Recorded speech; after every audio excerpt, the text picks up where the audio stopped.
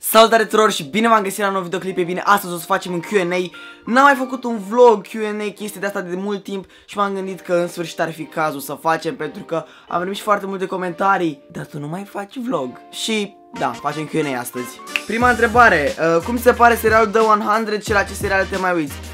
The 100 mi se pare foarte, foarte tare, acum am terminat sau cred că sunt la zi sau ceva, habar n-am Mă mai uit la... M-am uitat la Riverdale la tot, dar s-a terminat din păcate.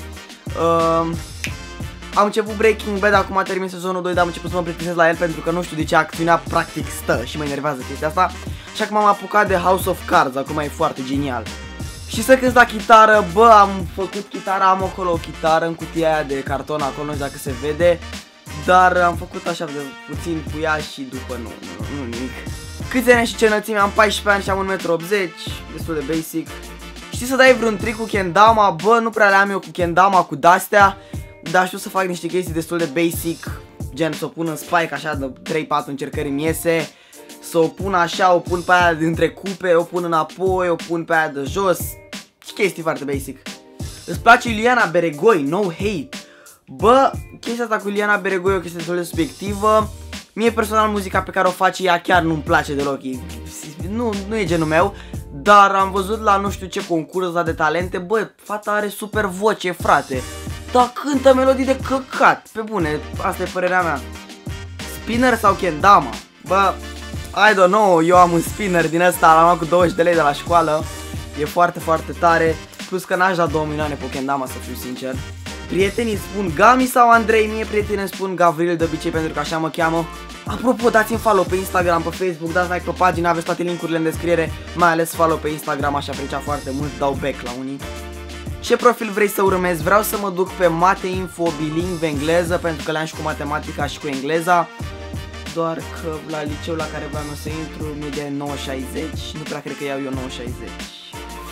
Asta e. Domnul Radu Andrei, îți este atât de lene să folosești și tu mai multe cuvinte și să pui fac Q&A? Da. Te vei apuca de o serie de bike vloguri cu Colo. Bă, nu știu dacă o să facem o serie neapărat de bike vlog, adică gen chestia asta cu bike vlog. Nu știu, nu mi se pare așa o serie. Poate când termin și eu cu examenul, cu școala, cu de-astea, poate ieșim și noi într-o zi și facem un vlog foarte, foarte tare.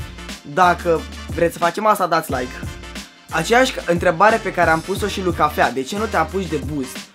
Pentru că, gen, e imoral să faci chestia asta pentru că, gen, practic ai avea oameni inexistenți care s-ar uita la tine și care ar mai fi, gen, nu, nu, nu mă prind chestia asta. Dacă ai muri în 24 de ore, ce ai face?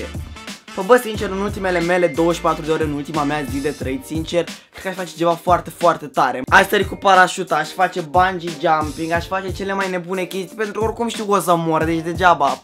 De ce nu faci mai mult vlog decât gaming? Pentru că, gen, momentan, acum am examen și am multe chestii pe cap și mi-e mai ușor să fac un episod de gaming decât să fac vlog. Și dacă aș face doar vlog, ar trebui să fac numai Q&A-uri și chestii scurte, pentru că o chestie cu un scenariu și ceva bine pus la punct ar dura foarte mult timp, ceea ce eu nu am.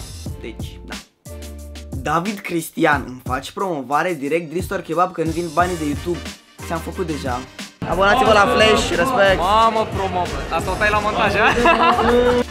Ce om. Te-ai certat vreodată cu un profesor sau profesoară? Da, cine nu s-a certat? Nu știu, eu așa la școală să mai pe Caterinca, știi, și când n-am chef, chiar n-am chef, mă mai iau și eu de profesor și așa și nu prea iese bine, știi? Asta e.